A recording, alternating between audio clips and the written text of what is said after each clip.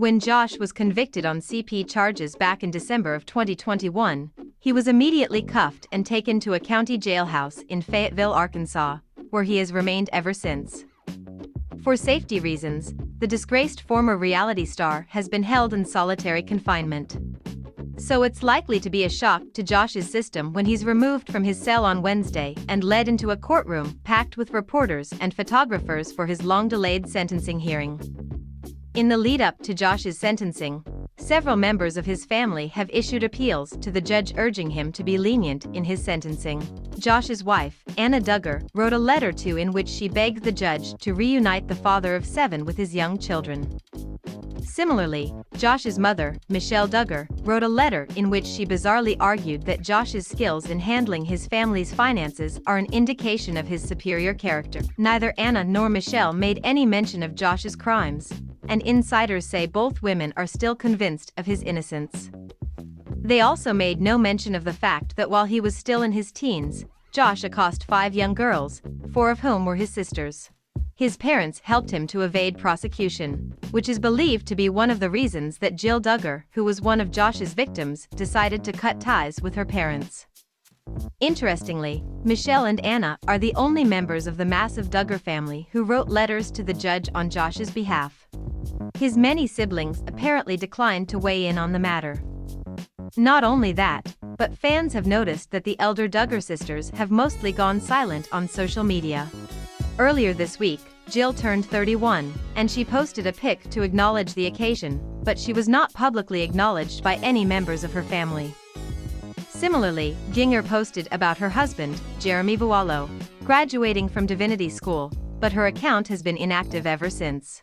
Many fans believe this is Jill, Jessa, Jinger, and Joanna's way of silently protesting their parents' continued support for the man who terrorized them during their childhood.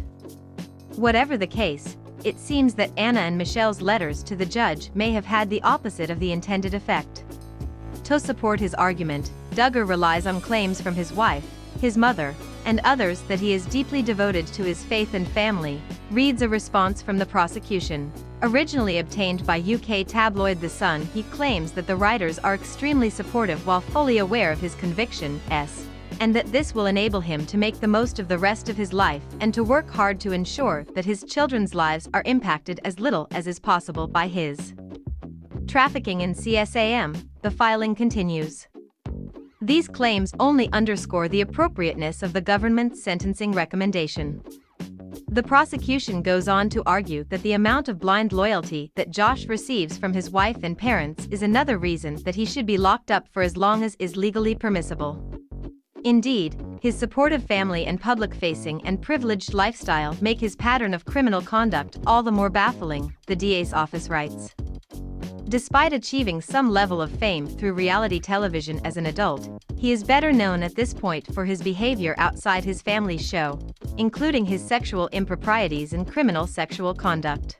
More importantly, none of these letters meaningfully grapple with his crimes or his sexual proclivities toward prepubescent girls. The prosecution argues that it's unlikely Josh will ever receive the treatment and accountability needed to prevent him from reoffending should he maintain this posture. In fact, Given the apparent success of his blame tactics with some of the individuals he intends to surround himself with after his release from incarceration, it is not just.